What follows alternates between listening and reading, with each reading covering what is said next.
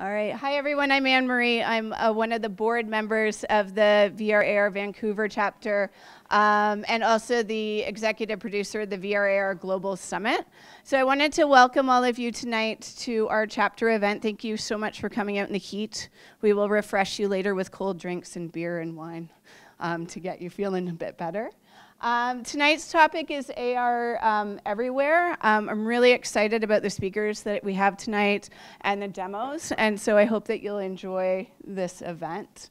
Um, just a little bit of the agenda. Um, me doing an intro. Uh, we'll have a keynote from the amazing Marco from the VR Fund.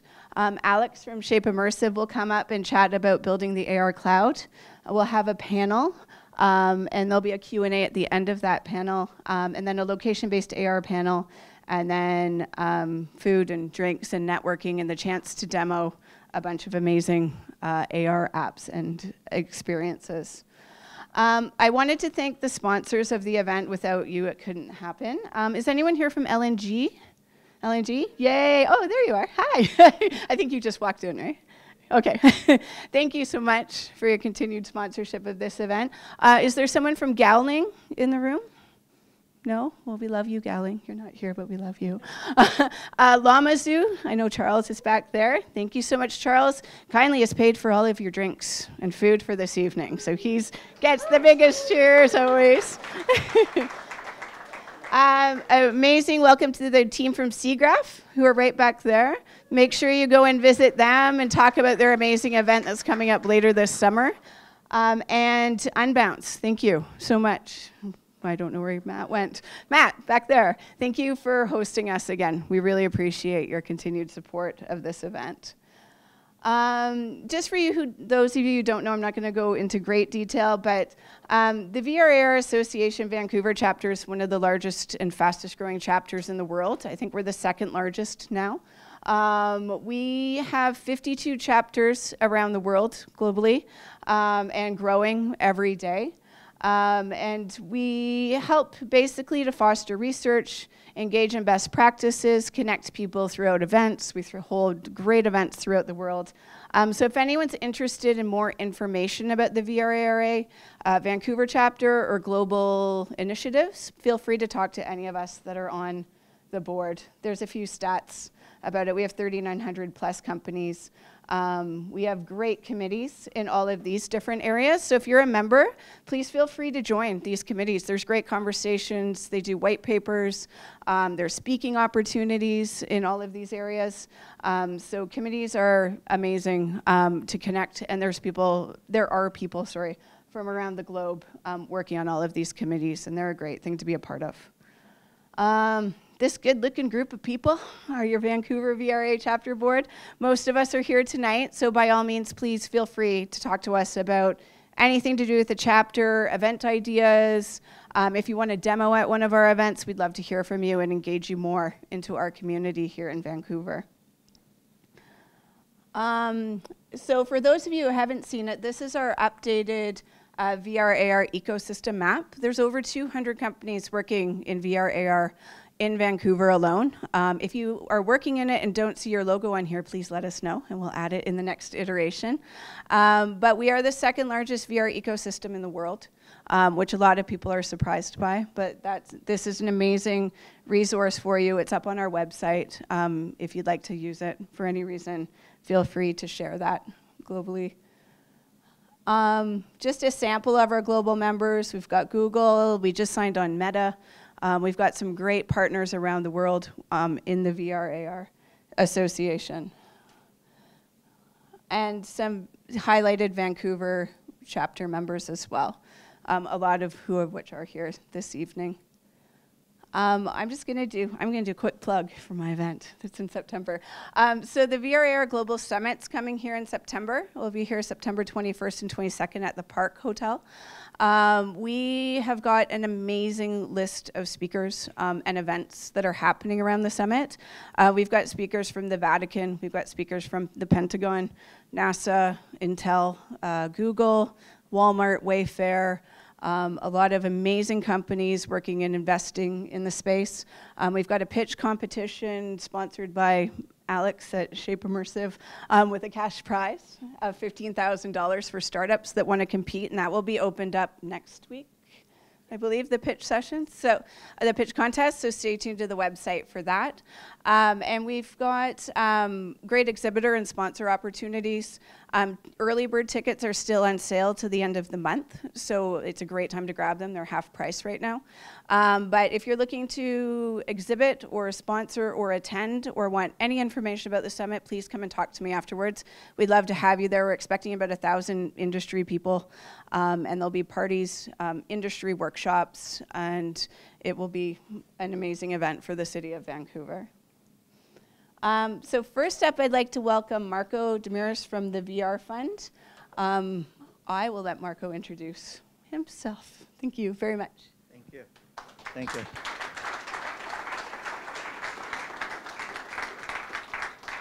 I think I'm almost matching the same outfit, more or less. well, thanks for having me here, and I'm really honored and delighted to be here. Oops, this is, go back. There we go. Um, well, you saw all of my presentations. So um, when Dan and I talked about you know coming here and talking to you about AR, AR markets and AR cloud, um, I really felt uneasy because I feel like you you already know a lot about the AR AR cloud, and as Anne Marie said, this is one of the uh, you know most vibrant uh, AR VR chapters uh, globally. But I'll still make an attempt to sort of take you to a 20-minute journey. And um, you know, my partner Tipatat and I, we talk uh, a lot about um, AR and VR markets global to evangelize and, and educate and really extend our footprint and, and the knowledge. So let me, let me do that. Um, by the way, just going back here, oops, how do I go back? By the way, oops, it's only going one way. Okay, so you know we're known as the VR fund, but V stands for venture. So it's really a venture reality fund and not the virtual reality fund. Uh, when we started this, we thought AR and VR will transform our lives, and uh, and Tipatat's original name was for the fund Venture Reality Fund, and it became a VR fund. But V is for everything. Um, so I'll talk about a little bit about the fund and talk about the sort of state of AR in terms of technology, competitive dynamics. But per my discussions with the with the, the uh, group, I'm going to focus on the cloud and the enterprise side. And by the way, this will be available after a few days. I have one slide that I'm going to share with you before anybody else sees it. Um, uh, but uh, so let me sort of talk about the fund a little bit. Um, we started a little bit over two years ago. Our, you know, I'm coming from mobile gaming entertainment background, and Tipatat similar, and uh, he and I worked at the game company I was running. If you ever played Diner Dash, that was our game. You know, downloaded close to 900 million times, 85% female audience. Uh, sort of very interesting platform. It's really a story of a female entrepreneur. And after selling that, I joined an investment firm in LA and ended up investing in Jaunt VR. It was their uh, September 2015, $66 million round. That was the second largest VR or AR investment at that time. And then Magic Leap was happening along the way.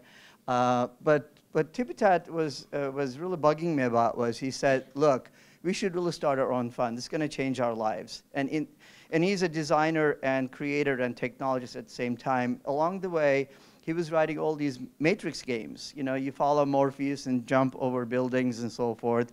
And he cured himself of his fear of heights. Like, oh, so we had our, he had his aha moment. And I was still caught up with and you know, I was at Creative Artists Agency, a part of their investment group, and TVG Capital. So we're looking at entertainment, music, and so forth. Tipatat was talking about healthcare, vision, other things. So to make it short, sort of I quit my job, started the fund a little bit over two years ago, and we said we're going to focus on AR, MR, and VR, and also complementary AI, machine learning, and blockchain. Not the crypto side, but blockchain technologies that Alex will talk about. We've been prolific. we uh, we invested in 22 companies. Probably before the end of June, we'll have three or four more investments coming up in our business, it really comes in bits and spurs. And uh, in, you know, since the announcement of AR Core and AR Kit, our deal flow shifted to AR, so I'll, I'll share all that with you. And we had two exits today. It looks like we're selling our companies to Google eventually. You know, Owlchemy started the job simulator, and uh, Google uh, acquired them early on, and then Limitless got acquired by Lytro, got acquired by Google. And, you know, again, I'm not going to do a lot of brag, bragging, uh, sort of chest pounding stuff here, but we really, you know, work pretty hard to make sure that we speak on behalf of the whole community globally. And I go all around Europe. Tipatat goes from China, South Korea, Japan, Taiwan, and, and our really uh, goal is to, to make sure that we help educate the markets and, and you know, investors and entrepreneurs and governments globally. And we also, we are very proud to be working closely with the Women in XR Fund, WXR Fund. And as you know, they've had two cohorts so far, and actually one of our uh, newest investment will be one of them. And I'm a big fan of Vancouver, so there we are. Um, our starting vision was that, again, you know, go back two years ago, seems like really a, a decade ago, but two years ago, uh, you know, and still uh, to, to this day, a lot of venture funds are trying to figure out what AR, MR, VR mean to them. And uh, so we thought we'll, we'll, provide this bridge between the traditional incubators and accelerators, primarily focusing on AR, VR, and, and also traditional venture funds. Our goal was to raise about 40 plus million to invest in 30 some companies. And currently we invest half million to million initial check size. And we always indicate, you know, our model is to really help uh, an entrepreneur or, or her team to make sure that they, there's an investor syndicate to help her build the company. We work with everybody, and uh, we think we have the best portfolio in the market, uh, but we're biased. So, by the way, there's a lot of uh, stuff going on um, between Charlie Fink and others uh, talking about what's AR, what's MR, what's XR. To me, XR is really convenience, right? Instead of saying AR, MR, VR, I say XR. And then everybody has their own definition, a little bit on XR. Uh, but today we're going to talk about you know, AR part of the spectrum where you have the spatial information, physical environments, and then digital layer on top of it. Um, why, you know, why there's so much interest, and especially since, you know, last September, ARKit and ARCore, this is going to be a big market. It's already about a 10 plus billion a year market uh, this year. And I think two, two years ago was about four and a half, grew to eight. I think this year will be eight, 10 to 12 billion. But the forecast, if you look at, uh, you know, I don't really believe in this troughs of disillusion and all that kind of stuff, because fundamentally it takes a while for a brand new technology to get adoption and traction. And if you look at the smartphones, 10 years, ATMs, 10 years, and you know, cloud computing, 10 plus years. So it doesn't happen overnight, although it gets tend to gets faster and faster because of the install base. And but overall, I have another slide coming up after this. So if you look at the breakdown of the market, you know, obviously early years are driven by hardware and VR, and then AR is catching up. So odd years, we're looking at about 100 plus billion a year market, 50-50 between AR and VR. And our overall expectations for Tipatat and I, we're looking at really sort of convergent devices. You'll have a mixed mode glass that will do AR and MR, maybe even the fully immersive VR experience simultaneously. So, but again, there are a lot of uh, forecast numbers uh, in the market. This is Goldman Sachs, and DigiCapital has similar. So numbers go from you know 80 billion to 200 billion. Who's in? Everybody's in. I mean, from Alibaba to Tencent, uh, Amazon to House and, and Walmart, uh, everybody's really investing in AR and VR. Uh, from the entertainment companies, you know, US, Europe, and obviously media giants like Time Warner, to um, you know the the retailers and, and, and you know, journalism and media, entertainment, everybody is really experimenting. As you've seen in the beginnings, again, two, three years ago with the journalism, tourism, now we're seeing AR versions of that. If you look at our portfolio as an index of the market, when we you know, made the first 15 investments, they were all VR-focused companies. 85% of them had AR in their product roadmap, but AR wasn't ready for them.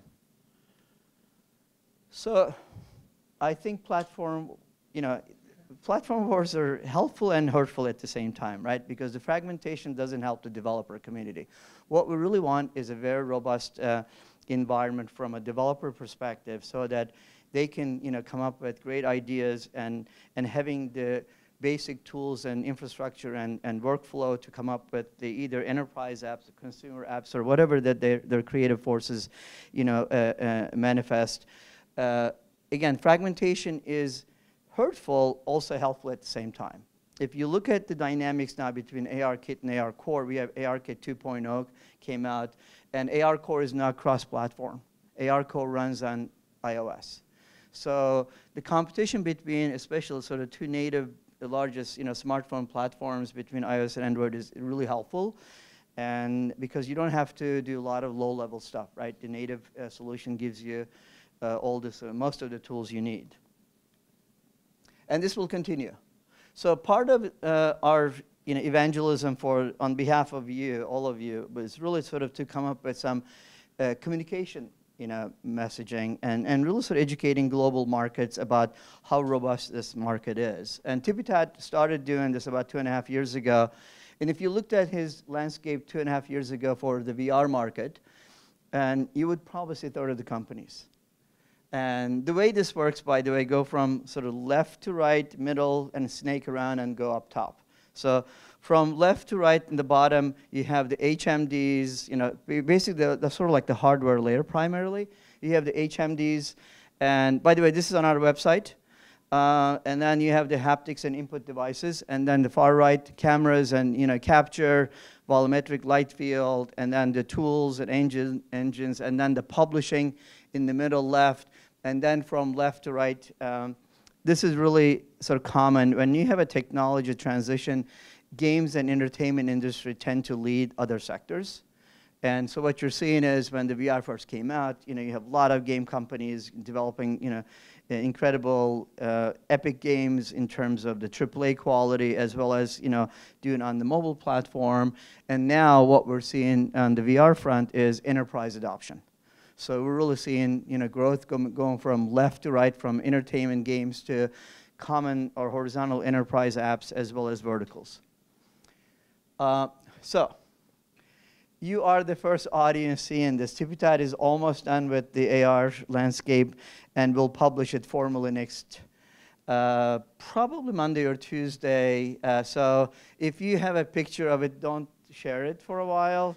And otherwise, I'll come after Dan and Anne Marie. Uh, but again, if you had looked at it, the, the first one we published about a year ago, it, it was approximately a quarter of this. And uh, so this is as recent as what happened at AWE a couple of weeks ago.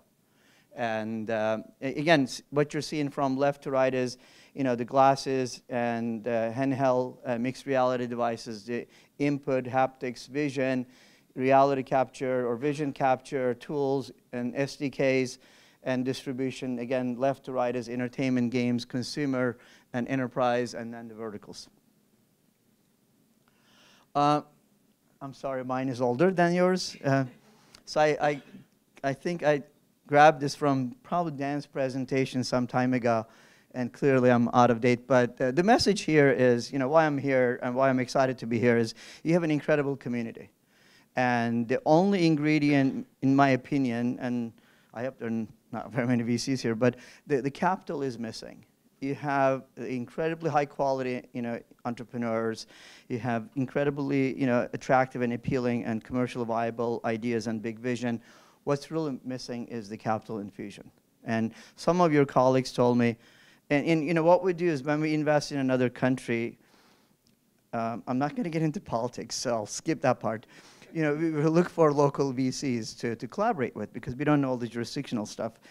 And some of your colleagues said, you're wasting your time. Bring your syndicate with you. There's no local syndicate here. But it's really early for me to figure out who, are, who is investing locally. And, and our, my goal is really to build a sort of network of investors early stage and, and really invest in you guys. So hopefully, when I talk about our portfolio a year from now, you'll see some companies from Vancouver, BC, and, and other parts of Canada. So you know, a lot of people talk about AR Cloud, and Alex, I think, will do a much better job than I'll ever attempt to do. He's coming right after me. But I'll attempt to sort of tell you what I think of AR Cloud. And start with my favorite AR Cloud. This is sort of everybody has their biases. My biases uh, uh, about Vancouver. By the way, I always try to be a Canadian citizen, and it's easier to be a citizen as an entrepreneur than as an investor. So um, maybe I'll start a company in Vancouver. But so let's talk about what really makes it an AR cloud. And uh, I want to give credit to our friends at uh, Super Ventures. Tom and Ori have been thought leaders in AR cloud and, and sort of you know, if you listen to Ori and, and Matt and Tom, they talk about AR cloud. They've been talking about it for a long time. And there are several definitions. And, and I think Alex will probably get into a little bit more uh, detailed version of this thing. One is like it's operating system for spatial computing. You know, you have the spatial information, you have the physical layer, and you need this AR cloud to become the sort of OS level to, to make sure that everybody has the foundational uh, you know, access to that information. The other part is like real-time spatial map of the world, and, and then digital you know, replica of the physical environment or as a shared screen. And, and what you're really seeing is that fundamentally having a digital layer over a physical spatial information and, and, and then it'll have certain attributes. So what are those attributes? Um, so one of the attributes is, uh, again, uh, some of them are you know, intertwined with each other, but it has to organize data in its original place. And Ori talks about in situ a lot. I'm like, I saw, that's pretty sophisticated. So I looked it up. It means its origin. So, um, so you really have to have the you know, information at the origin. If I leave an object here for Anne Marie, she should come and see it at the same place. So they're really having the objects, having the information data at the origin and the where you intended to put is really important, and AR Cloud has to accomplish that. The other part is it has to be persistent, but persistent can be controlled by you. So if, if, if, somebody leaves an information or an image or gift or something at a location, you can have it be persistent for a day, month, hours, right? But it has to be persistent and at least have the option. And it has to be persistent in, in real environment. So you have the spatial information. Whatever you create has to be persistent in that environment and across space, time, and devices. Sounds a little bit like a Star Trek, but it's really important to have this intersection of across, you know, ubiquity over devices and space and time intersection is important. Again, controlled by you. You can choose to have temporal, you know, duration, but it should be controlled by you. And then the, these scalability, you know, real-time, multi-user, shareable part are all related to each other because, um, you know, from the enterprise to consumer, it's much more engaging if you have social experience. If you're looking at a game or, or messaging app and, and, and social AR or enterprise, you know, you want to be able to scale to have hundreds, maybe thousands of millions of people using it, right?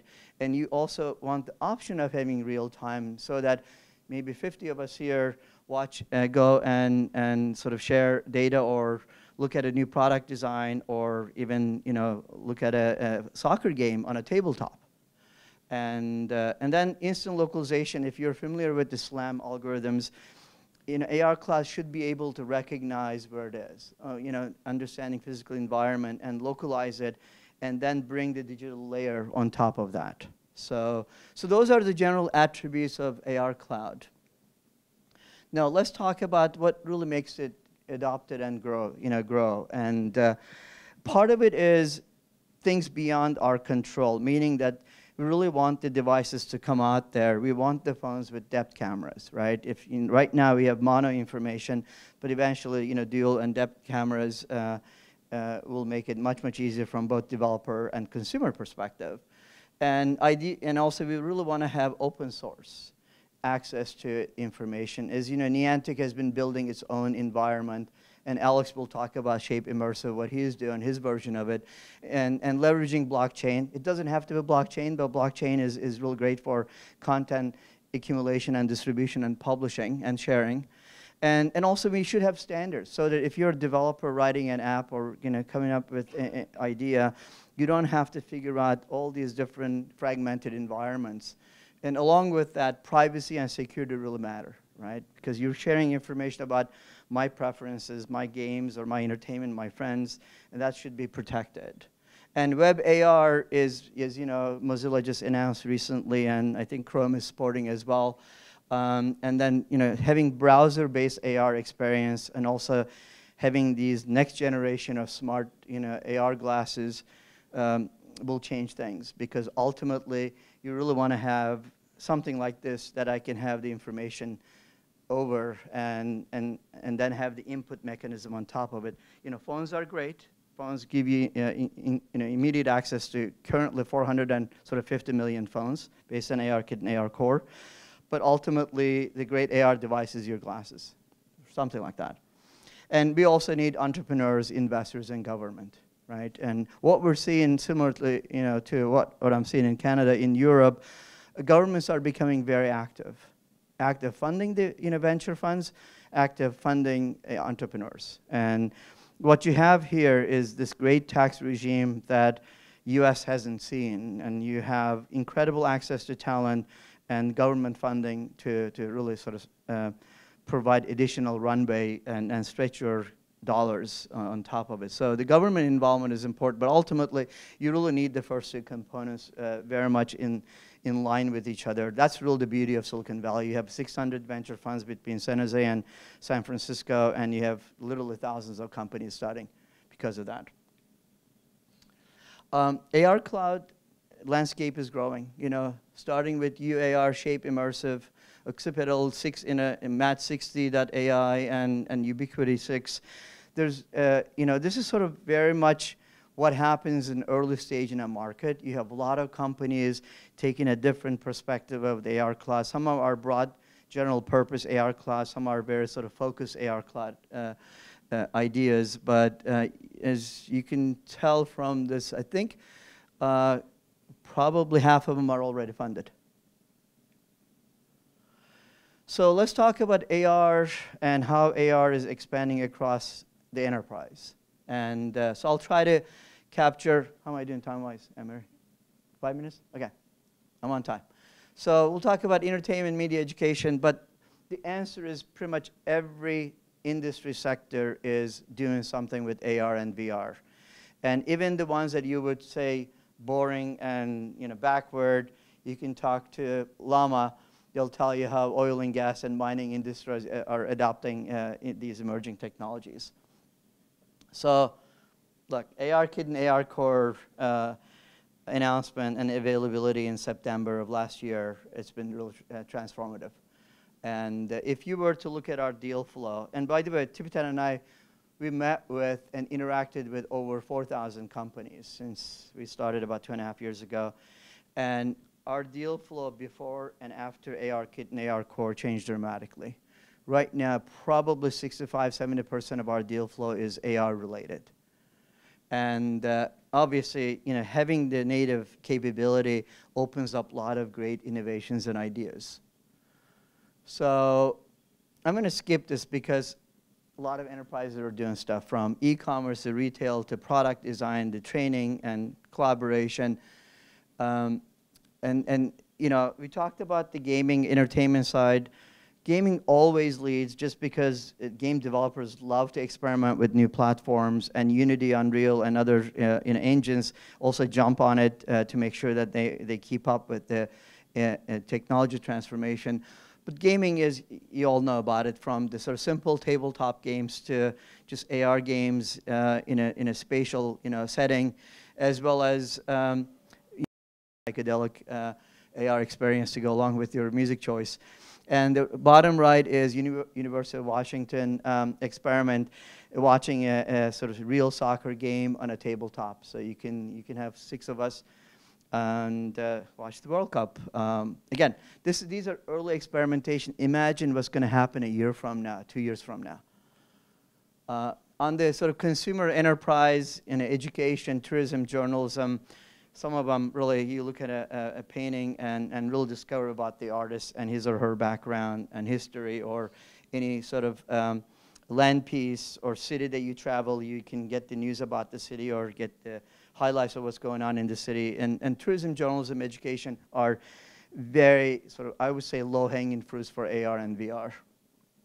And on the AR application enterprise, there's a sort of component of enterprise application, what we would call horizontal, that is pretty much applicable to any enterprise, right? Part of it is product design, you know, product design from complex to simple, and from single user to multi-user. Again, you have six of us put our you know AR glasses on, look at a product design that um, and I came up with, uh, or somebody, uh, you can comment, you can improve. It really improves the communication and product design process dramatically. On the sort of big data, everybody has a big data. This is a company called Virtualitics. They have it in both AR and VR. You know, uh, I was reading this Harvard Business School article. It said 95% of data collected to date, since the inception of the recorded human history, has happened in the last two years. That's an incredible statement, right? 95%, even like 80% would be phenomenal, but 90 some percent is unbelievable. That shows you how exponentially the data is growing from IoT to everything else. So again, that's a horizontal application. And, and as LlamaZOO uh, friends know, they do from big oil companies to mining, and it's for retail, e-commerce, everything, right? Horizontal app. And field services, repair, you know, uh, and uh, maintenance. Again, when you're out there, you're experiencing something that you haven't done before. By the way, DoD in the U.S. especially has always been at the forefront of new technology adoption. They fund millions and millions of dollars and spend all that to really uh, to to provide additional funding that it doesn't get on the radar screen in the U.S. that much because everyone talks about venture capital, but DoD has been one of the big sources of uh, capital for emerging technology companies. And in this case, you're seeing a Marine tackling something, and the bottom right is a field service technician trying to figure something out. And uh, I'm there struggling, and my manager says, go this way and open up the box. So it really makes it much easier, much more efficient, and also eliminates errors, right? And in the retail, it eliminates returns. These are all hard dollars that you save. And medical, honestly, there's self-explanatory. If you talk to PeriopSim and, and other uh, innovators in this field, you can see the benefit of technology uh, in AR helping uh, from mental to you know, diagnostics to physical. And I have a, just a short story, if I can tell. So in the US, I don't know the Canadian health system. It's really tough to find a doctor. So eventually I found a general practitioner because you want to get your annual check and everything. So I scheduled it and I signed a bunch of pieces of paper. You always sign it because you don't know what they're saying, but there's some warning about technology. Anyway, my doctor walks in with one of these uh, on his face. And I'm like, wow, that's really interesting. He's like, I hope you're not scared. I'm like, I said, no. He said, um, this is what I call smart glass. I'm like, great. And he's like, are you uncomfortable? I'm like, no, I'm not uncomfortable. I understand this. I mean, I know a little bit about it. He's like, yeah, wow. Because he says, some people asked them to remove it. And they felt very invaded. In, and so he was giving me a lecture about AR. I said, I really support what you're doing. Don't worry about me. I'm totally fine with that. But, but it's even happening at a patient level. And uh, the medical field, by the way, has been phenomenal in terms of their you know, adoption of technologies for AR and VR, from training to actual surgeries and collaborative surgeries and, and you know, all aspects of it. I wouldn't have guessed it before, but it's happening. My last slide, I have one more to go. And uh, obviously, the social part is really important. If you look at WeChat, WeChat has about, I think, 1.2 million users. WhatsApp 1.4, I'm sorry, billion. One, uh, WhatsApp has 1.4 billion, and Facebook Messenger is about 800 plus million. They're all incorporating AR, right? You talk about the Bitmoji, you know, face emojis and all that kind of stuff. They are incorporating AR because a part of our social experience. You know, when I tell you something about my experience, I can put a little face there. I can add little color, little you know component in AR to really sort of extend and enhance the story. And if you haven't seen the video about hyperreality, I really urge you to go watch it. It may corrupt you forever in terms of uh, what the future will unfold for AR or mixed reality. But it's an interesting way of looking at uh, um, how the, these technologies would really impact the social interactions and social uh, lifestyles. So after having said all that, where are we investing, right? And we're investing actively.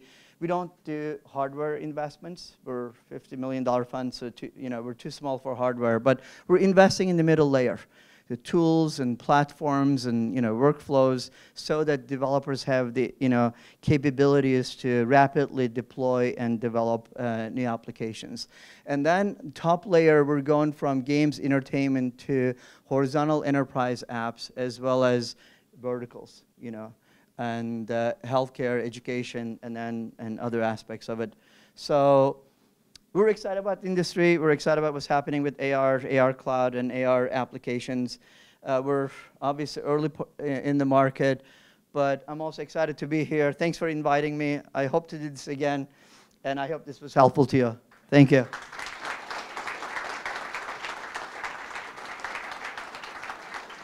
Questions? Okay.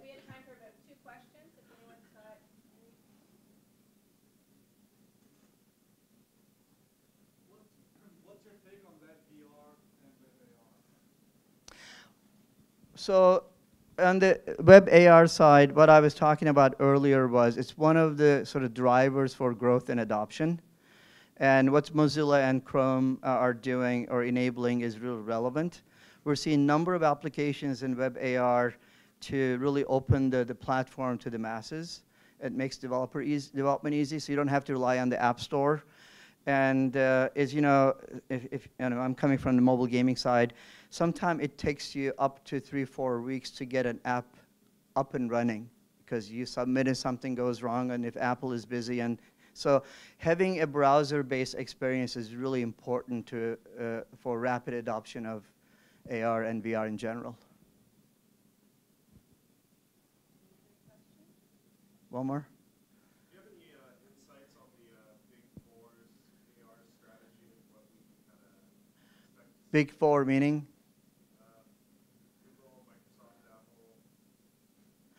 So on the device side, expect so uh, Tim Cook, what I heard, has been traveling and in person has been really evangelizing AR and underlying how committed Apple is to AR. And expectations based on their hiring in the Valley is they're going to have their own AR device pretty soon. And Google, as you know, they sort of consolidated Tango and everything else and behind AR Core. Right now, there's a fierce co competitive dynamics going on between AR Core and AR Kit, which is great for all of us, right? It's going to make our jobs much easier from a developer perspective. And Google also indicated ambitions to have their device AR glasses.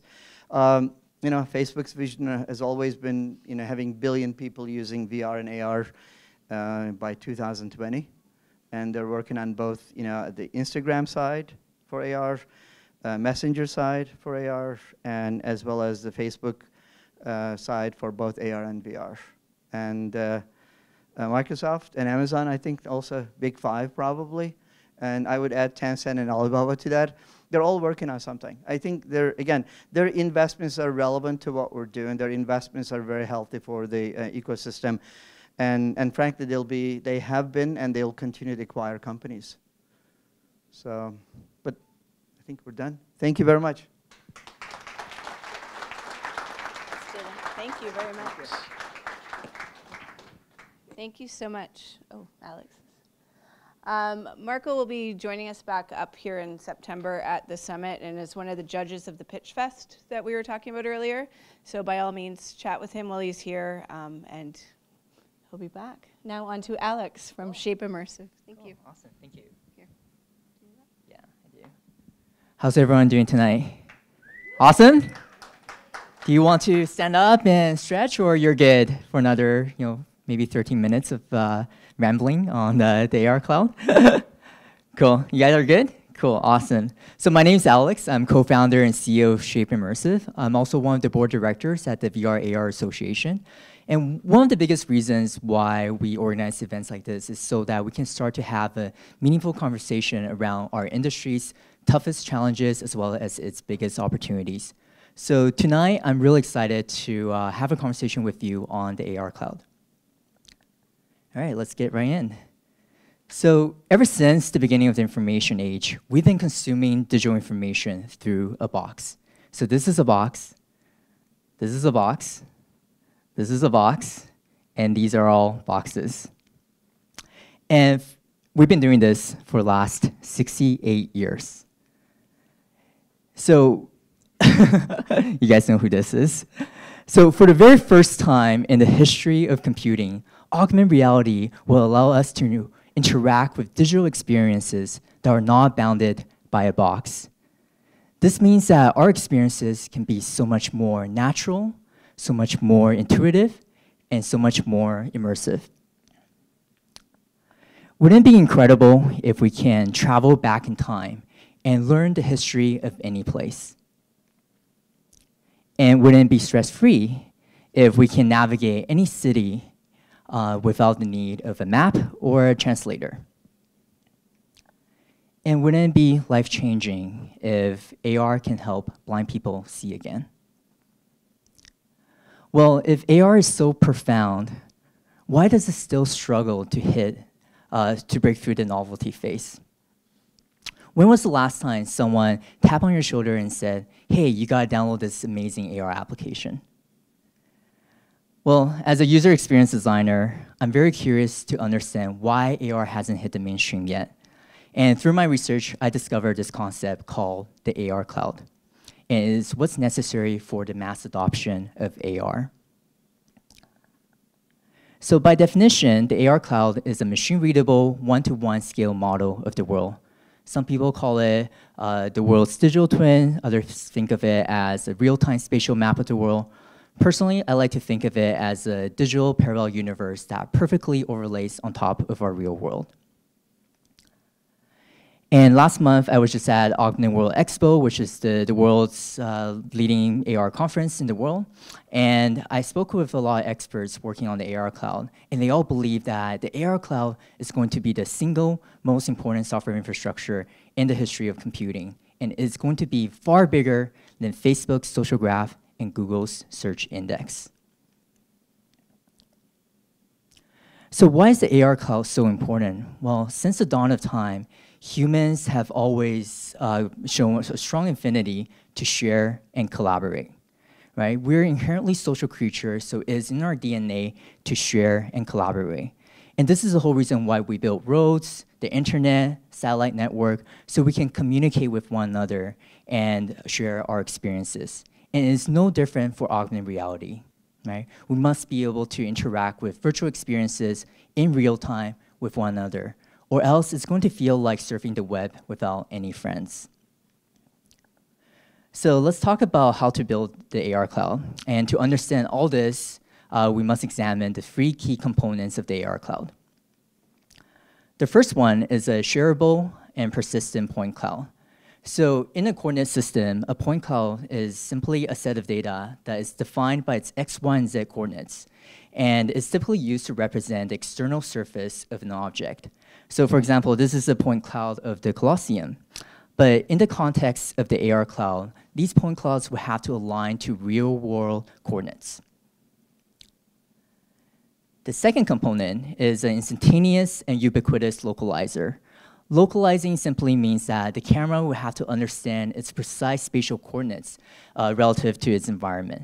So if the AR cloud were to exist today, the camera would be able to identify the key features of the scene and then compare them with what's stored on the AR cloud to find a match. And once that match is found, the camera will be able to understand its position as well as its orientation, so you can actually view the experience from any angle. And the third is the ability to allow for real-time multi-user interaction. So just a couple of weeks ago, both uh, Apple and Google have demonstrated some form of a, uh, multiplayer AR experience. Uh, and Apple, um, I think two weeks ago at WWDC, uh, they demonstrated this uh, multiplayer AR game. Uh, it's a slingshot game where two players would be able to interact with the game in real time. Uh, but personally, I think this experience is still very limited because there's no real connective tissue between the virtual content and the real world. So what did we end up doing? Well, we went to uh, prove out uh, why the AR cloud is important and why it matters. So I want to give a shout out to Aaron Hilton here. So Aaron's the mastermind. Uh, yeah.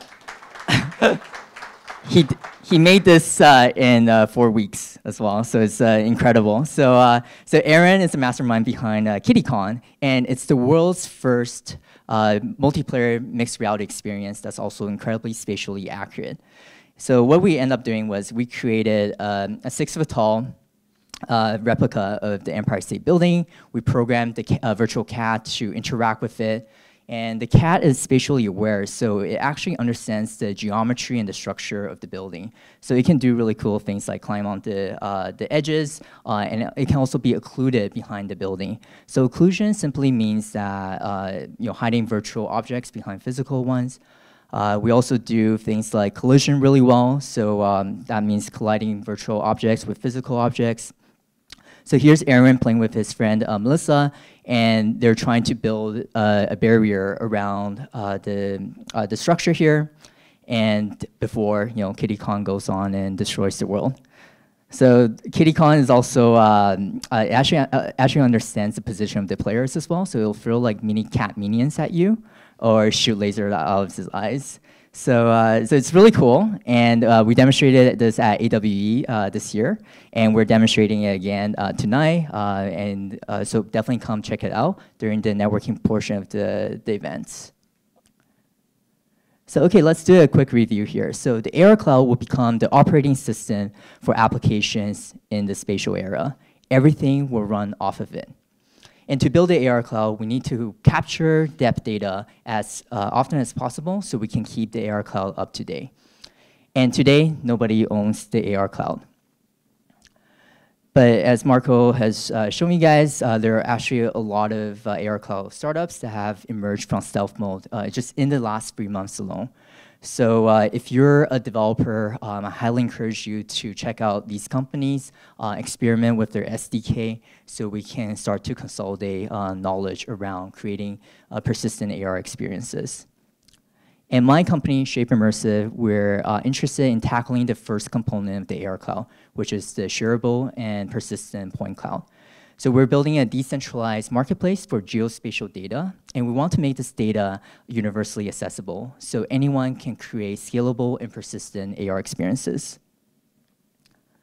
And personally, I think that blockchain technology has a role in accelerating the creation of the AR cloud. Uh, in the very near future, billions and billions of people will have uh, smartphones that are capable to capture the step data so if you can incentivize them to uh, capture this data, then the AR cloud would be uh, constantly up to date.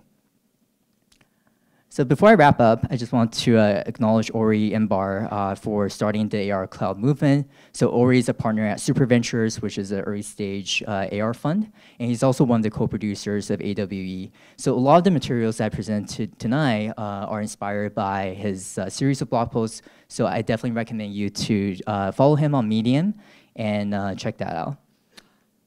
And I also want to uh, give a shout out to the, uh, the VR AR Association. So um, I've been a member for about a year now, and I got a ton of value from the association. So if you're not yet a member, uh, come talk to one of us. Can I have all the board directors to just you know, raise your hand? Awesome. And all the team members? Yeah. Cool, awesome. So uh, come talk to one of us uh, if you're interested and if you're serious about building a company in the uh, VR AR industry. That's all I have for you uh, today. Thank you so much for your attention. Again, my name is Alex, and I look forward to uh, meeting some of you. Okay, cool. Well, welcome to the panel. Nice to meet you. Yeah, nice to meet you. I've met you before. Hey, man. And hey, worked together before. Awesome. So let's get this uh, panel started. How's everyone doing? Do you still need to stand up and stretch, or you're good to power another you know, 20 minutes of uh, in-depth conversation on the AR cloud. You good? You guys good? Want water or anything? No? Okay. Yeah, let's, uh, cause I think the, yeah, or maybe we can just turn it off. Yeah. Uh, the projector? yeah, this, this is actually an AR uh, experiment here. We're doing projection AR. So, so we're, yeah, we're we're augmenting their uh, their name and their job title here. Cool. So I got a bunch of questions I want to ask you guys. so when when Anne-Marie and I we when we first planned this event, Anne-Marie was like, "Hey, do you want to be on the panel for AR Cloud?" And I said, uh, "No, I definitely got more questions than answers." So uh, so that's why I'm the moderator for tonight's panel. So uh, let's give our panelists a huge round of applause.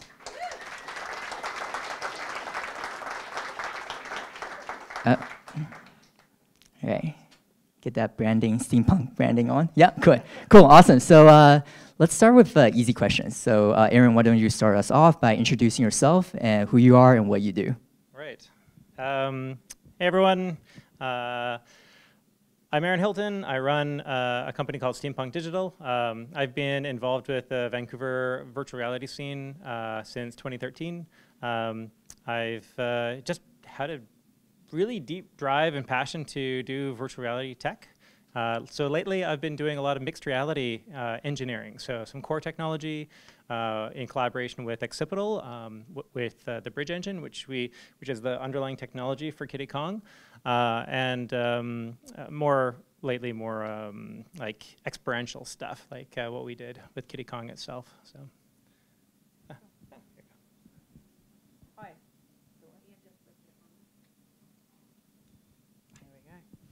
Hi, I'm Jordan Brighton. I'm CEO, CTO of Virtro Entertainment. We are a mixed reality production company. Uh, I got into VR about two and a half years ago when I started doing a bunch of hackathons down in Seattle and San Francisco and got very excited about the possibilities of AR and VR then. Uh, my company uh, likes to experiment as well with a lot of new technologies. Our core is doing VR applications, but we've been experimenting for the last six months with AR and multiplayer AR in particular because I think, uh, it's, I feel like multiplayer is the reason that we should be doing AR. My name is uh, Moe Somani. I was standing outside and they asked me to join the panel, so I have no idea what I'm going to talk about. No, I'm kidding. Um, no, I run a. am uh, sorry, I'm an investor and a partner and a shareholder with a company called Atheer. Uh, and my role in the company is to, as a senior director, I talk to CEOs and C-level um, um, executives in enterprise world to put AR on their roadmap. And what we focus on is field service, dealer service, industrial job area. So that's basically what we do. All right, let's get this panel started. So first question is, you know, what are some of the profound use cases of uh, AR Cloud? And perhaps Moe, we can start us off with some enterprise use case, uh, and then um, maybe we'll move on to the consumer use case, and then Aaron can give us a, a bigger picture of um, the, the other use cases that uh, you've um, you know, researched. Sure, yeah. So um, uh, how many people here are in enterprise or industrial job industry? So basically, I'll try to give you a, nutshell of some of the use cases uh, that we work with. Um, one is dealer service or field service. So um, we're not in the sexy part of AR. We're just meat and potatoes company. What we do is we help anybody that works with their hands, that builds things and fixes things. So uh, an example would be automotive, right? So a use case would be, there would be remote co collaboration. So I think Marco had put up something on field service there. Um, it's around being uh, ha having an, uh, a field technician or a dealer technician working on a car and he can't seem to fix a complex problem and he needs to contact somebody. And so what he does now with AR is he connects with the glasses or, or a smartphone or a tablet and he connects to somebody anywhere in the world that could help him and makes him feel like he's in front of that car to walk through step-by-step -step process. So that's a use case right there. Another one is inspections and checklists, uh, safety regulations, training, uh, anything that requires um, uh, a technician to be able to learn or to be able to do something with his hands where they need somebody to that is an expert somewhere around the world that can actually help him right where he is without having that expert to fly in um, or to have to fix the problem themselves directly. So that's basically there. So uh, we do uh, warehouse picking, so I'm not sure if it, does anybody know what warehouse picking is, right? So basically somebody goes into an Amazon warehouse, they have to pick a box, put it onto a, a skid, skid has to take it to a, to a uh, truck, and it goes out to a FedEx and sends it out. What we do is we make sure there's no errors around that. So we uh, provide through the smart glasses, the guy who's doing the picking, he'll tell him how many boxes he has to pick, um, where he has to send it to, which aisle he has to go to, and he can do that process instantaneously without any type of training whatsoever, because it all shows up step by step on his glasses. So something like that.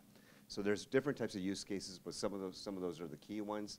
And the industries are construction, automotive, oil and gas, energy. Uh, we work with um, uh, like our customers are like Porsche North America, um, Honda, uh, GE, uh, Volkswagen, Nestle, Berry, Flex, all those type of organizations. So. Awesome. Uh, consumer use cases. So um, I'm coming from the entertainment industry, and I think that uh, there is some really compelling, fun kitty Kong experiences that we can uh, put all over our cities. Uh, we're working on a game at the moment called Teddon, which is an AR-based uh, Teddy Street Fighter game, and the concept of that is uh, you train a teddy bear, but then you take it out to the streets to fight other teddy bears, and it's location-based, so um, kind of cross with Pokemon Go, but um, you know, very interactive and also multiplayer, so you can play other people and you can have street brawls and stuff. But um, it's going to be very location-based. Um, part of our concept of that from um, taking it into pubs and clubs and stuff like that is that we can have a special uh, sponsored bear that you can only fight in one particular location. So it's a new idea that we're uh, exploring, but we've got some really good feedback, um, and it's fun and it's different.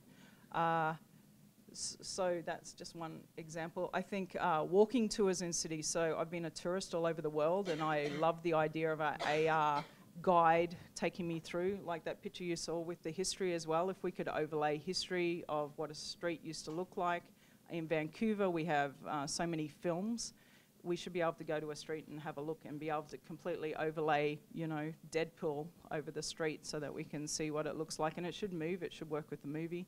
Um, those kind of uh, uses for having a second digital world, I think, are really exciting and entertaining and interesting, and I think would drive uh, consumer adoption to download these things onto their mobile phones and start using them. Um, all right, so broader picture. Okay. Um, so I did a little bit of homework on uh, where this stuff could really become fabric uh, of our everyday lives. And I really think that every display uh, will have some spatial awareness. Um, have you guys seen um, uh, uh, like like projection mapping where they shoot a projector onto the side of a building and it and it has all these like cool effects and they even like play with the window frames and make them like flex and distort the building and that kind of thing that's um, spatial awareness in action with a projected surface. So you can kind of expand that out to everyday devices. Like every one of your phones in your pocket has the fundamental capabilities of being spatially aware with its front-facing camera. So it could identify where it is in 3D space. You put the phone down, and then you, with a pair of glasses, you could like look at it and beam whatever is in your augmented operating system to your phone display. That's where display surfaces become uh, just like uh, a universality of, of, of, common interaction with people that don't necessarily have the fancy glasses, but lets everyone just see that thing together. Um, so the only way to make that work is if you have this AR cloud as a pervasive medium that is uh, persistent through space and time. Uh, and I say through time because if you were to look as uh, on the enterprise side at uh, under the hood of your car and you go, oh, um, how does this work? And you like, how do I take this apart? Um, that could just be uh, a recording of that spatial map of under the hood. Um, the deconstruction of your vehicle, uh, of the engine parts is pretty structured. So you can just associate that through uh, a pre-recording of the deconstruction of your engine and teach you how to do it, how to do the oil changes, how to do the, the replacements of certain parts. Um, so it can become spatially uh, a Wikipedia of how your engine works. So these kinds of capabilities of spatial awareness inside spaces, uh, around your space, um, and everywhere will be really, really handy. And who knew? It's mostly just a math problem at this point. These devices already have the necessary sensors and equipment on board and compute capacity to do all of this. So now we just have to think our way through the problems. Awesome. So one of the bigger promises of AR is that it's um, able to organize information at its origin. So I think everybody here, um, you know, describes some forms uh, of that. Uh, so my next question is, you know, um, you know, in my presentation, presentation I mentioned that uh, the first component of the AR cloud is a, a, shareable and persistent point cloud. So how do we actually capture this spatial data? Um, and you know what kind of technology exists uh, today uh, that allows us to uh, to do so. So maybe Aaron, you can start us off, and then uh, maybe Jordan and Moe uh, can chime in as well. Uh, to capture the data, um, your um, just a color camera on your phone is good enough to start capturing spatial data. I don't know if you guys have heard of a product called Reality Capture. It's really neat. It does what's called photogrammetry, where you can throw a crap load of photos at it. And you don't even have to do anything special with the camera. You can just like take tons of pictures and it will figure it out, the correlation of all the photos. It's not particularly efficient. You need a pretty beefy machine to put it all together, but it does give you spatial data in the end. It does give you a point cloud that can be fairly accurately registered. Um, and it's pretty automatic which is kind of amazing. So now we have to think of ways to make it more mm, quick and you know make it more fluid. So I work with a company uh, on contract uh, called Occipital, and they provide a, a, depth sensor. That simplifies the problem immensely because you're range finding with a laser grid onto your real world. Uh, so you, you know exactly what the depth and color of that information is, uh, and you don't have to guess. So now you know the exact scale of things. You don't have to try to do tricks with the math of the gyro and accelerometer and move the phone around to establish scale. Uh, you can just look at it, and it's got an instant, instantaneous snapshot. So when we map uh, Kitty Kong, it's like painting with light, and that constructs our uh, data set that, that we can track on and relocalize with? So I think uh, there's a lot of different ways to collect the data, um, and maybe from a more commercial way, people using HoloLenses to collect inside information, because uh, I feel like lots of people are mapping the outside of our world right now, but I think part of the power of this is having the insides of our world mapped too.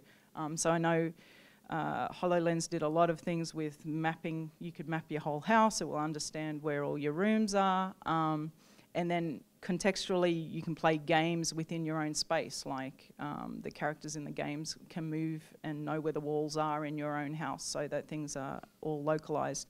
And ongoing, I feel uh, we need more mapping of the insides of everywhere so that... Uh, and, and that's where things like the, the phone comes in, where people can start contributing. And I think that's kind of what you're talking about doing, isn't it? It's contributing to, um, to this worldwide map of, of the world. So uh, uh, the Matterport as well does a very good job of scanning internal systems. So if there was uh, anyone here who wanted uh, to have this kind of information. I think there's really good services and hardware out there and has been out for actually years that can, can provide this service. I think on the, um, on the space that we're in, on the enterprise side, I think we're a little bit behind in that in terms of field service work, uh, industrial job areas. Um, it's coming along slowly, but I think the key thing that our industry or our area has been really focused on is how do we help a customer reduce errors, reduce downtime, and save money on travel. Those are the real three areas that we work on. The biggest challenge that we find in our area is content.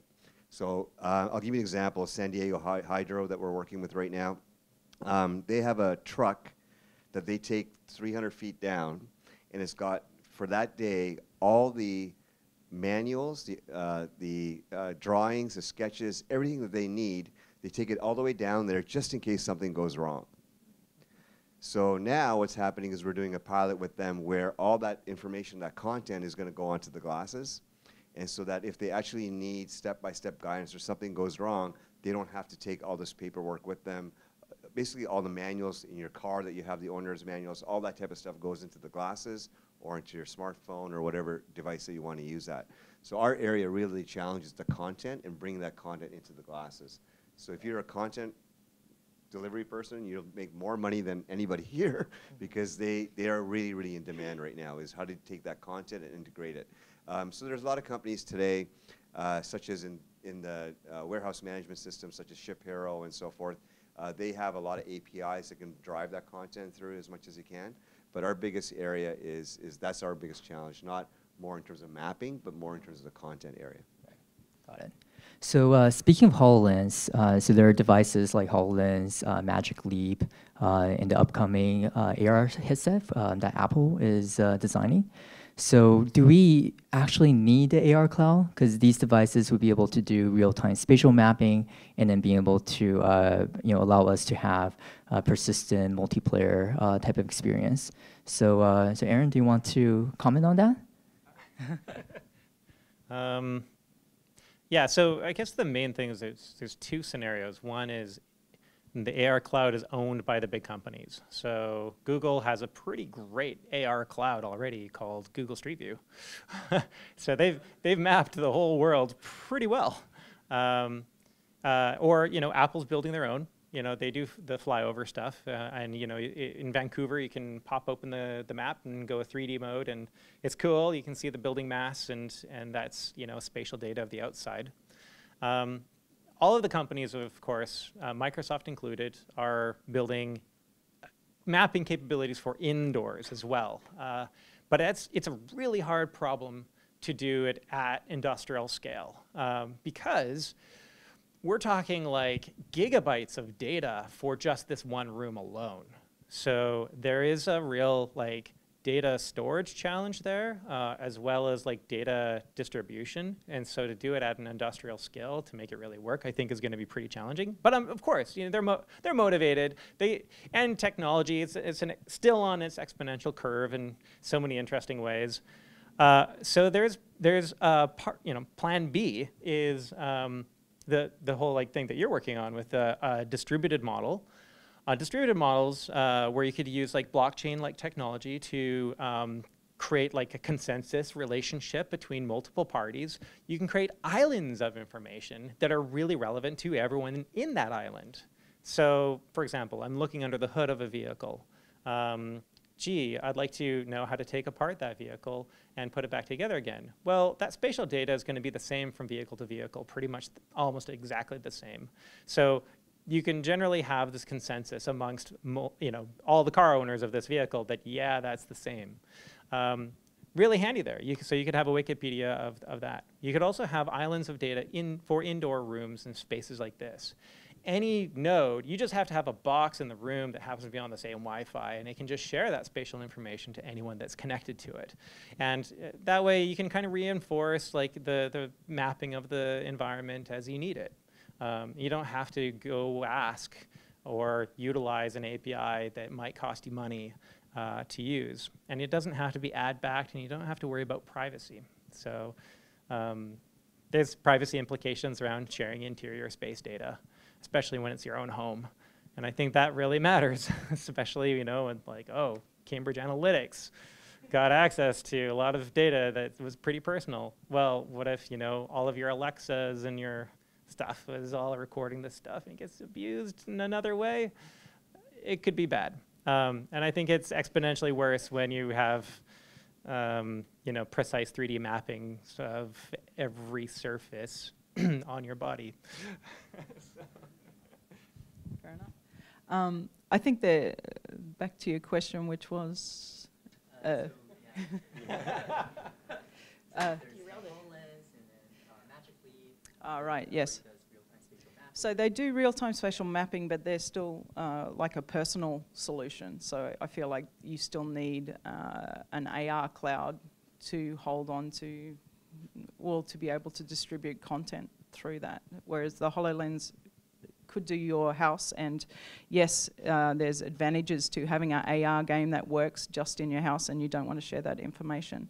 Uh, but also, if you were in a Holo, using a HoloLens in a shared space, uh, for me as a developer, I need access to that shared space. Uh, so then we still need an AR cloud to be able to I, I think they're mutually exclusive. So I think they just answered everything. I don't think I have to add anything to that. so.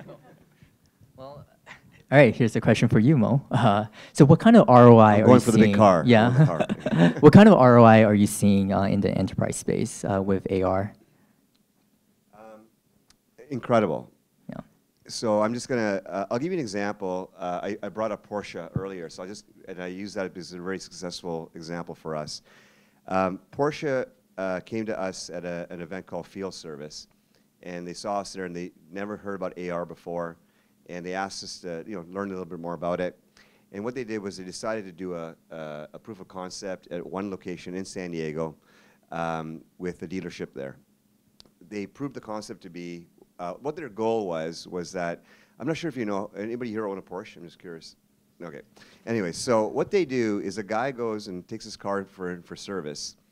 The the the technician, if he can't fixes it, he, he can't fix it. They open a ticket. The ticket goes to Atlanta.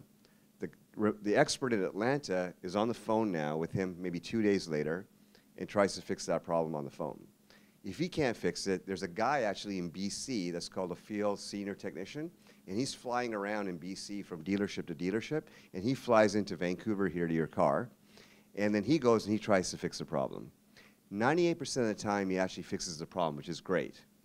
The other 2% that he can't fix it, either the guy from Atlanta has to fly into Vancouver, or the, he's got no time. He doesn't have time to fly out here. So what they do is they take your car and they put it on a truck and they send it out to Atlanta. So that was their problem, right? So this is a, the, comp, the, the, the idea was a complex issue that the customer had, and Porsche is all about their customer, getting their car back quickly. So their big thing was, how do we get that car back faster to the customer? And the average time to get a ca- car back to a customer on a complex issue was about nine days. When they did this uh, proof of concept and they went started with one location, uh, they saw you know uh, an increase in uh, sorry reduced time, but they said you know is that just like one location? So they tried out uh, eight nine locations. One was Vancouver here, and uh, they went from uh, nine uh, nine days down to five days. So they saved 40% reduction in time. In addition to that, they saved about in that uh, six-month pilot, they saved about $120,000 in uh, travel costs among their technicians. So that's an ROI that you can see right away. Wow. And that's something, um, uh, you know, so the sexy part of the business is that, you know, we make money on subscription, the customer saves money. And they, and they give a customer a better experience. So that's a, an example of an ROI right there. Cool. Awesome. Uh, Emery, how are we doing on time? One last question? Yeah? Okay, cool. Yeah, so the, so the AR cloud sounds like this you know, massive infrastructure to build. How realistic is it? Right? Are there any uh, concerns or risks? Uh, maybe Aaron, you can start us off. Uh, concerns or risks? Well, I guess I touched on one. Privacy. So, yeah, I mean, we've got cameras and sensors and stuff all like picking up all of the, you know, sense. It could be sensitive IP information. It could be like inside of a company. You got to map. If you're mapping out your company for uses internally, uh, you got to lock that down somehow. So, I r- I really think that that has to be really considered with any sort of AR cloud solution. We have to have some kinds of um, spatial privacy control um, that's part of the fabric. Um, so you can you can create an island um, that is like you know password protected or some some useful way, but it also has to be usable. So if we were to create a, like a, a password protected cloud and you try to use it with a pair of glasses like how do you punch in the password you know? Like that'd be terrible. So it needs to be tied together somehow in a way that is completely seamless and doesn't get in the way um, unlocks as you need it and uh, and is just usable. Um, and I think that a you know a key to unlocking it is your spatial presence itself. I think that that in some way could be the key to unlocking um, privacy, privacy encoded data uh, as a UX design goal, like as a way to actually make it move smoothly. So I don't know, it's an idea. Yeah, uh, I think we need standards. I think there's a lot of companies, uh, or not companies, who are they? Uh, open source standards like we've done in other industries as well. So when those standards uh, come come into play, then that will tie up a lot of these issues with privacy. Uh, and also make it accessible. I think right now, if everybody is making their own version of the AR cloud, then they're not going to connect together very easily. Um, and I think that is what people are doing right now. I think Vancouver probably has four versions of a digital twin right now, um, and I'm sure lots of other cities do as well, um, and they don't speak nicely together. So uh, pulling this information all into one cohesive, shareable uh, format, I guess, is, is something that I would see as uh, very useful in the near future. In our space is security at the end of the day. So um, we are on the cloud, so our platform is built, everything for the customer on the cloud. And I think the value to that is that because it's still new, we'll have a customer say, oh, by the way, can, can you do this for us, right? Um, an example would be is in HVAC. We have a customer that we work with, and they've already started using remote collaboration. But what they want to do is, um, or even the car business, right? So right now we're working in the same same situation in the car business. Is how many people here taking their car for service in the last little while, right? And you go and they call you back at work, and you get an estimate, and they say it's a thousand dollars to fix this, and you go, oh my god. Doesn't matter if it was 500 bucks. You still say, oh my god, right? At the end of the day, that's what we feel like. How do like, how do you know it's worth 500 or 1,000? So in that case, the customer now wants what, what the uh, industry wants to do is they actually want you to be able to see that technician in front of your car while you're at your office and to pinpoint and show you exactly what it is before they give you the estimate, right? The security around that is like just ridiculous, right? So how do you, you know, it's again privacy issues with security. So what we do is if a customer asks for something like that, we build it and put it onto the platform so every one of the industries can use the same type of product, right? So the, the same type of software solution. We don't do on-premise solution. So on-premise solution where a customer will say, you know what, we don't want you to go inside of our, our network. Um, if, and so what we try to do is like a private, like a kind of, I guess, compromise with a, a private cloud, AR cloud within mm our own oh. frame. Yeah. But security is the biggest, biggest issue that we find. That's right. the barrier for customers because it's a, it's a mindset for them. Mm -hmm. uh, they have to change the way they think. Uh, some of these organizations have been doing the same type of you know, automotive has been doing the same thing for like, you know, 100 years, right? So having them to change their mindset to be able to get into uh, this AR cloud mm-hmm. environment versus an on-premise solution is a very difficult one, right? So, but it's getting there. Cool, awesome. Well, huge round of applause to our uh, for our panelists tonight. Cool, awesome. So uh, thank you guys so much. Uh, I think Emery, you're taking over. Um, so I wanted to invite up our last panel for the evening.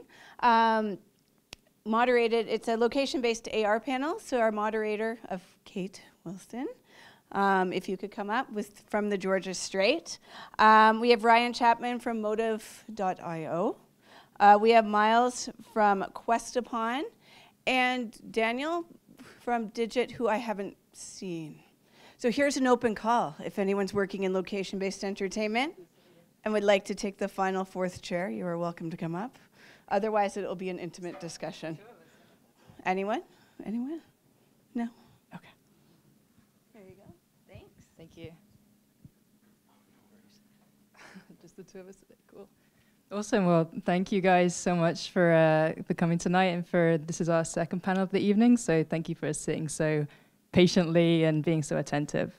Um, as Anne-Marie says, we're going to be talking a bit about location-based AR which obviously fits into the AR cloud but is a bit different. So I'd really like to explore with the, these two wonderful guys um, where location-based AR has come from, where, where we're at the moment, and how we can really push it forward. So um, a little bit about me, as Anne-Marie said, I, uh, I'm the tech staff writer at the Georgia Straight, which is um, Western Vancouver's largest news and entertainment weekly.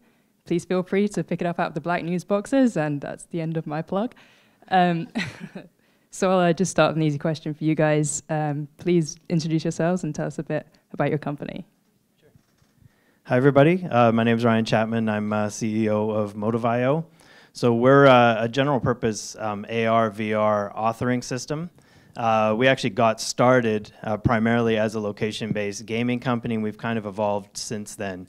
Uh, so we we do still make location-based apps and games, uh, but we have a, an AR, VR authoring platform uh, that handles a lot of the content delivery and, and experience creation uh, issues around AR and VR. Um, Miles from QuestUpon, um, CEO. Uh, we started QuestUpon in 2011, and I believe we were the first AR location-based game. Um, if you remember, probably about six, seven years ago, about 250 million people, quarter billion, knew about uh, the Sasquatch and legends that were dropped around the world, like Pokemon Go, but quite a few years earlier. Unfortunately, not everyone had a smartphone at that time, so um, yeah, and since then, uh, we came mostly in tourism, um, so right across the province, and uh, yeah, we'll talk more later. That's great. So I think my first question for you guys is to really, we've had a great overview here of where um, AR and cloud AR is at at the moment. So I'd really like to just kind of dig in and use your expertise to to discuss where the technology comes from, what kind of the history of it is, because I know that you've both been there since pretty much the genesis. So what are the technologies that have kind of coalesced to be able to let us make location-based AR, and how has that kind of evolved to where we are at the present? Sure. So uh, I, I, think the reality is that the technology has been around for, for almost 10 years. Uh, certainly we've seen an evolution in terms of what you're able to do. Uh, but, but a good chunk of, of what you actually need, uh, GPS, a compass, access to uh, a mapping system and points of interest, um, have been around for a while. So I, I do think that I, I, think that less of what's missing is, is a purely technology uh, issue. Um, I really think what's missing are compelling use cases and compelling applications of the technology. Um, I think AR Cloud is going to be fantastic. I don't think it's necessary to make a really compelling location-based experience. I think it's going to make them better, um, but I do think uh, a big part that's been missing has been um, education both on the side of the developers and the consumers for exactly what's possible with, uh, with location-based uh, augmented reality. Um, I, I, think one of the challenges, uh, and, and I, um, to kind of give an, a, a, bit of a background of where we started, we actually started as a gaming company. Uh, one of my partners is actually a, a filmmaker by trade. Um, and, and he was uh, an, an, early innovator in, in web video, so you know, predating even the location-based space. And one of the things he, he was saying in, in the early stages of, of uh, making his Tiki Bar TV, um, uh, if, if you've heard of it, um, uh, web video is that he was one of the few people actually building content for the web that wasn't other people trying to educate people on how to build content for the web. So one of the big pieces that, that I think is missing right now is not so much a technology problem, it's that tech technologists like us are still the gatekeepers um, for creating all sorts of augmented reality, whether it's location-based, uh, you know, whether it's headset-mounted. Um, that's the problem that we're trying to solve with Motive is to open that um, capacity up to, you know, content creators and creative people because you know, I really think the biggest innovation that's missing, again, is not so much a technology problem. It's the fact that we're not letting, you know, the storytellers in the world, the, the creative people in the world, um, create these, these kind of experiences uh, as easily as possible. Yeah, it's interesting. Uh, uh, I come from uh, the mobile side uh, background with Play Mobility prior to doing uh, what we were doing with, it was Legend Tracker and then QuestUpon. But like Pokemon, we had kind of a, a real peak and then a drop. And um, augmented reality is really cool. Uh, it's flashy at first, but unless you wrap it into a story, and I mean uh, with locations, VR is awesome. VR is great for right here, things around us, fantastic. AR has the ability to not just have something appear right in front of you here, but I mean in the place where it's supposed to be. And so we began these stories where we'd, uh, traveling time is fantastic. We take a city and we look at the stories and we bring these things to life. I mean, the characters are walking down the street, uh, you're looking back in time, uh, you uh, answer some trivia, you find something in the real space and you answer questions about it, which tell a story. And um, if these stories were like music, AR is just one chord. And so we built this platform that allows people to develop these quests, um, and we use them ourselves to calibrate in the real world. But um, just simply going and dropping things all over the place, like we did the Gold Rush Trail, which is going from California to Alaska. Um, I think there's a few hundred locations right across BC. But if we just drop things in, oh, there's a gold gold panner, great. Uh, tap on it five times and collect some gold. it doesn't mean much. Um, but we wrap around these stories, and we have this ad adventure this way. And it is the content that's needed. It's uh, and it's not about the technology. I mean, back in the days, we had to deal with stuff where, I mean, magnetic declination, where that's not true north, that's true north, and it would shift things. And we'd have to pay attention to altitudes and the calibrating things. We've all been doing the cloud stuff for years because uh, we'd have uh, clients of ours, uh, maybe five hours away, eight hours away, and they would actually use QuestUpon whatever for calibrating things. And I would see what they're calibrating, and we're like, okay, cool, it looks good to me. Look good to you? Yeah, great.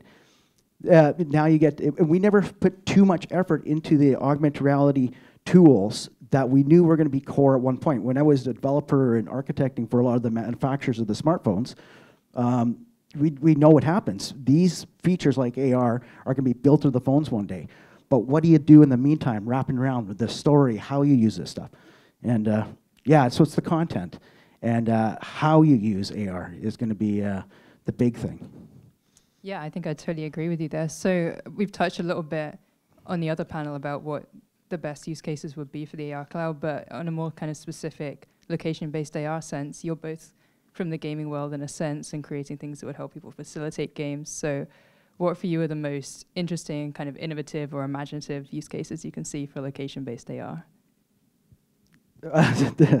well, so we, we've all been doing this stuff for so long, and it's uh, usually it's about six, seven years before now, so um, we're innovators. And uh, um, so pulling something out of stealth mode would be really stupid because I honestly think some of the stuff we're doing is is uh, the absolute coolest. Uh, I I can go back quite a few years ago. I love the fact of uh, making games and felt guilty that uh, you know my son becomes a game addict and stuff like this, and and how do I get them outside?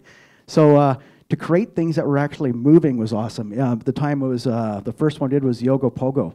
So not only in the map do you see it actually traveling up uh, the lake and coming out, and everyone sees it in the same place, but um, I would actually have to test this by pulling off the computer, getting into a car, and watching the map in time myself to hit this bridge at the right time um, to be able to see that uh, Ogopogo as it's going underneath the, and Tammy and I, my partner, we'd actually sometimes miss things. We'd have to drive half an hour up the lake, and oh, I could see it coming. I could see it coming. Here it comes, and that that was cool stuff then. But uh, nothing's. I mean, like the big stuff's yet to come. You just watch. Uh, I mean, the world's open. it's great. So a follow-up question there for you. What's the what's the big stuff then?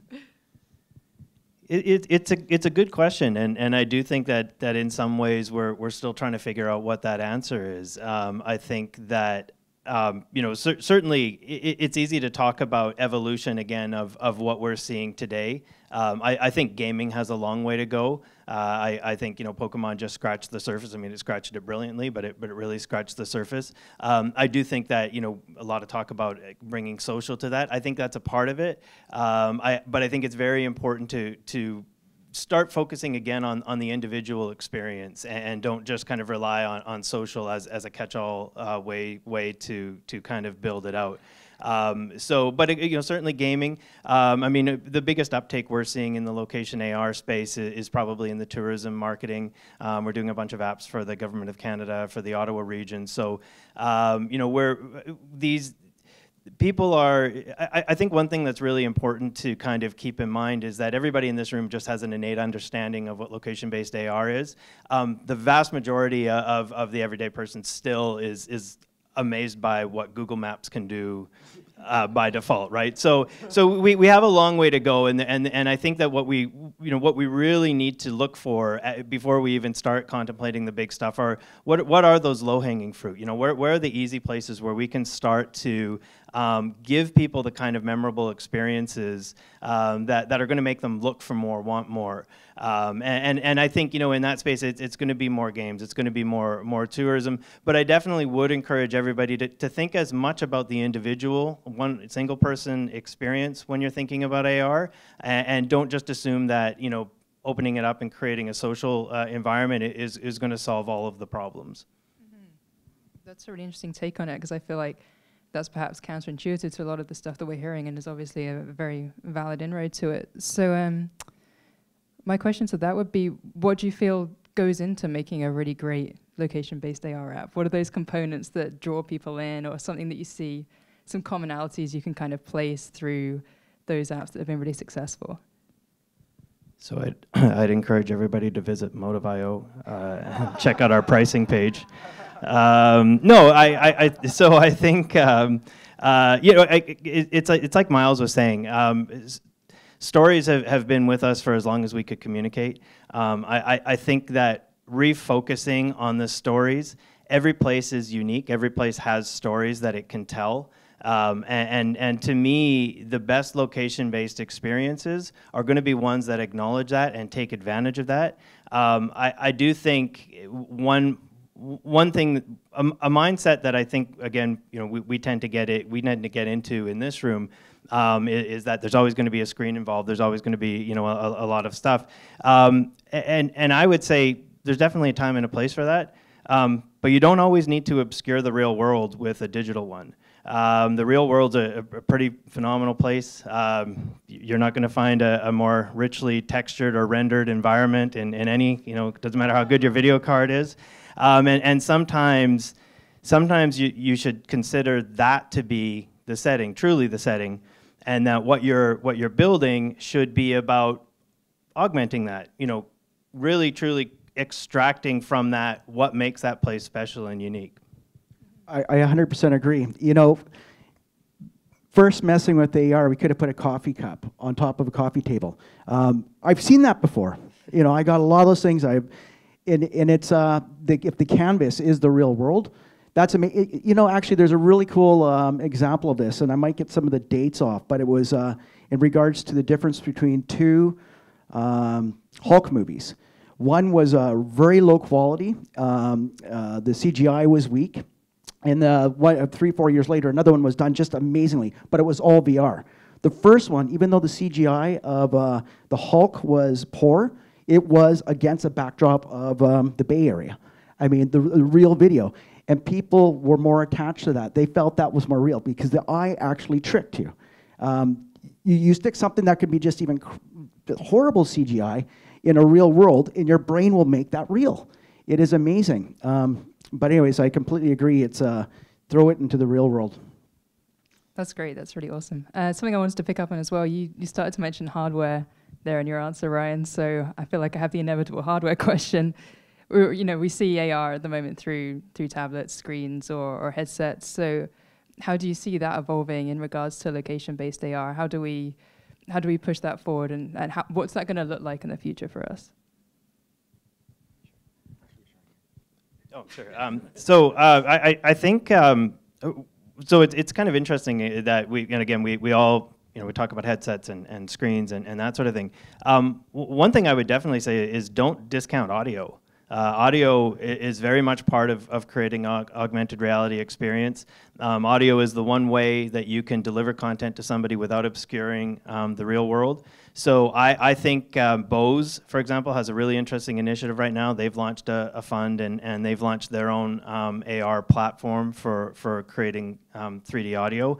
Um, we actually did a, a project with a group out of Times Square where we mapped the sounds of the Amazon rainforest to the streets in and around Times Square. And uh, you know, the idea being kind of mixing the concrete jungle and, and the real jungle. Um, but it was a purely audio experience. You know, the app was just there to to bring you through, and, and the you know the the avenues were, were rivers, and you as you approached them, you heard you know you heard the rushing water, and as you you know meandered through Times Square, you'd hear you know you'd not pass underneath a beehive, and you'd hear a, a beehive. Um, so I I actually I'm probably more excited about the innovations in, in uh, location-based audio as, as an AR delivery device. Um, I, you know, certainly count me skeptical uh, as far as, you know, whether I truly believe that every person on the planet is going to be wearing an AR uh, device on their, on their head at all time. I think, you know, the laser eye surgery market would, would strongly suggest that people, people don't always, always want that. Um, you know, I, I think that there's absolutely going to be a time and a place. And again, I come back to uh, tourism, uh, training, education as, as amazing use cases where, where, you know, I think the headsets are going to be really, really valuable. Um, but, uh, but I do think, you know, I, I do think one of, one of the things that we tend to forget is, is the audio uh, side of the equation. I do like uh, the wearable side of it. Um, mixing that with audio is awesome. Uh, you know, the ability to run around in the real world, uh, have goggles on, where uh, you know six, seven of my friends are doing this, but in amongst us is a bunch of dinosaurs, and we're running around and they're chasing us. We're in a field, maybe uh, golf courses. Um, we experimented with stuff like this where things are chasing you and whatnot, and it's very hard with the phone. And I tried strapping a, uh, the phone to an actual ball cap about six, seven years ago, which was just ridiculous. Uh, thought about cutting a hole in Google Cardboard. Um, but the ability to have something lightweight and it also very GPS is only so good, you know. Um, but even there was beacons and whatnot, or very quick image recognition. To be able to wear a lightweight device and run around an environment where some of the stuff's AR, get jolts if something actually hits you, um, like laser tag, but to the next level. Um, that stuff could be pretty wild because uh, if you get people off the couch, um, right now we got them walking, get them off the couch and get them running, you know, Yeah, anything to get people off the couch, right? Um, yeah, so uh, I mean, we've kind of gone through a little bit about the history and what's really great about location-based AR, but it, it kind of seems to me like we've had this technology now for, as you mentioned, nearly kind of 10 years. Obviously, it's it's got much better in its in its latest iterations. But what is it that you feel that's inhibiting that kind of mass adoption, or uh, I guess mass mass familiarity at, at the very least? So, well, uh, you know, as I mentioned, uh, you know, I, I think I, I, think the issue is, um, it's kind of a it goes in a number of steps, but the, the biggest issue is is a lack of content, a lack of really accessible um, uh, experiences that make sense for people, um, and and I, you know. It, it hasn't been to me. It's not the technology hasn't been the hasn't been the the, the boundary. I, I think um, the, the biggest challenge, and, and I'll reiterate it, you know, is, is the fact that not very many people know how to build good location-based experiences. It's, uh, um, it, it's not easy. Uh, it, it, requires a very different um, take on, on the environment. Um, I mean, I've worked with, with game designers who have a lot of trouble with it um, because they're used to controlling everything about the environment. And with a location-based experience, it's exactly the opposite. You're very much at the mercy of it. So I, I think that technology has has been much less of a barrier than than you know awareness of of what it is that actually can can makes a compelling location-based experience. Um, you know, again, with Motive, that's what we're we're trying to solve a part of that problem by by giving tools to everybody who can who can create them. Um, but I but it, there's very much a chicken and egg ultimately, I think what'll drive adoption is is a lot more Pokemons. Um, you know, a, a, lot more a lot more digestible experiences that that make sense. Um, again, I, I, I think you we we see a lot of location-based AR that exists for its own purpose. I, I, you know, a lot of, I mean, gimmicks. Alex was mentioning that, um, and and I, you know, they don't they don't serve that bigger that bigger kind of need. If you think of what made Pokemon really, really special, uh, it had very little to do with, with, the technology. It had very little to do with the graphics or any of that. Um, it, it, worked because it connected with people on an emotional level, right?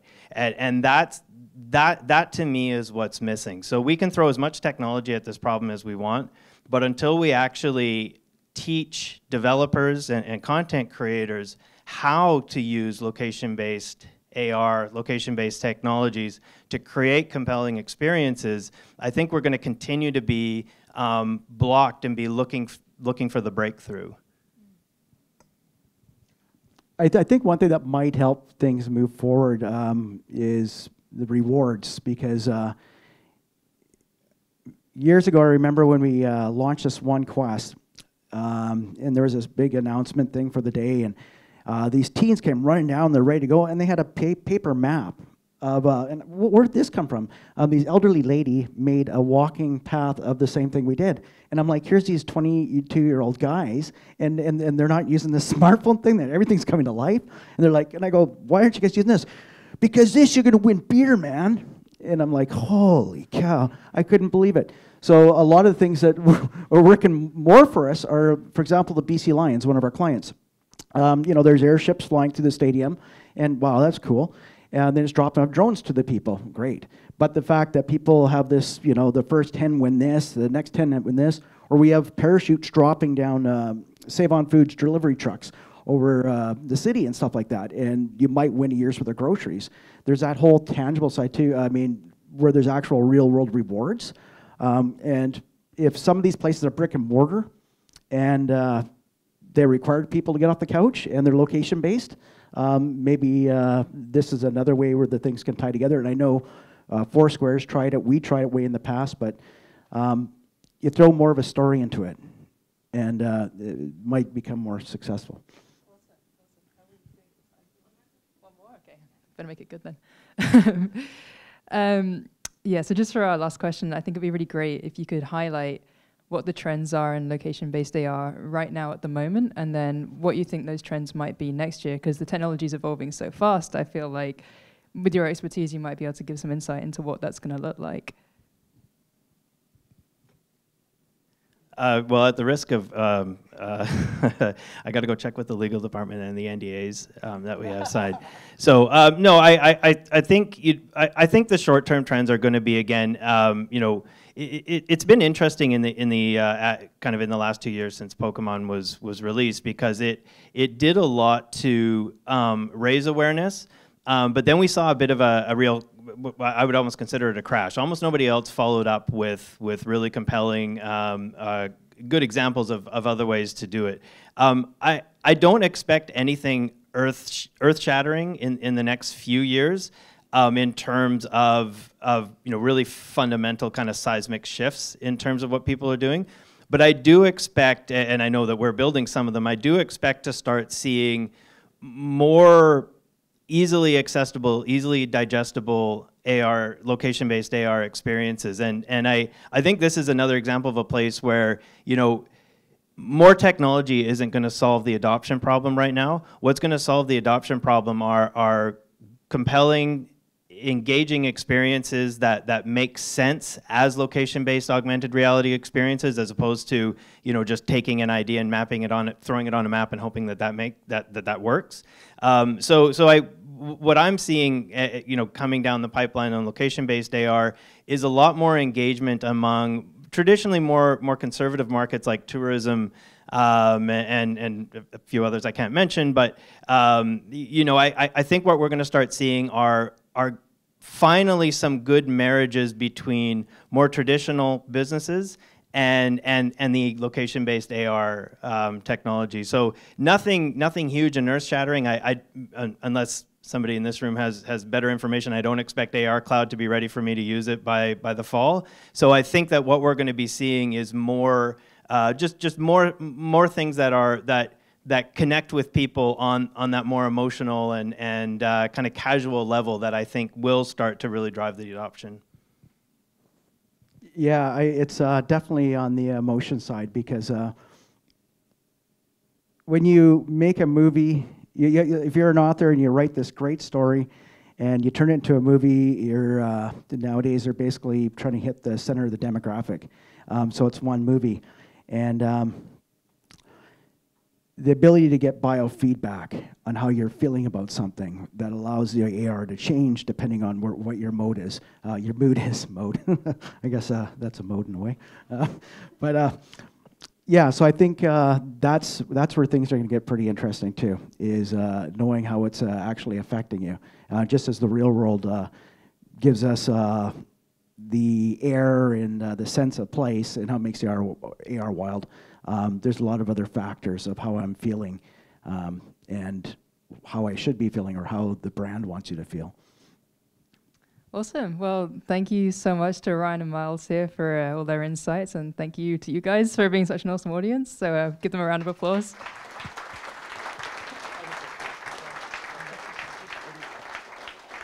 Um, we're just about to go to networking and food and drinks. I just wanted to call up Charles. Charles from LlamaZOO. Once again, thank you for sponsoring the food and booze this evening, Charles. We appreciate it. Um, Charles, just want to say a few words, and then we'll get on to seeing demos by Kitty Kong, which you must check out. I tried it at AW, and it was amazing. LlamaZOO's doing a demo. Uh, Motive.io, Ryan, who just spoke, is doing a demo. And then please visit our friends at SIGGRAPH as well at the back. So here you go. Cool. Thanks. Thank you so much. I'll keep it quick because I know we all want to get to the networking and drinks. Uh, but uh, yeah, to give you guys a little bit of backstory, those of you who may or may not know me, I'm on the, uh, the, the board of directors for the VRAR Association. Missed a few of the last events, so I felt really bad. Wanted to come back and uh, kind of sponsor, but also we're unveiling our Jetson VR product, which is launching today or tomorrow on, on the Windows Mixed Reality App Store.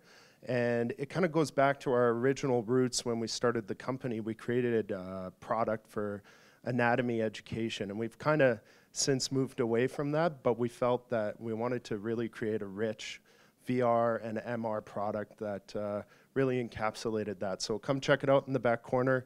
Enjoy the networking and the drinks.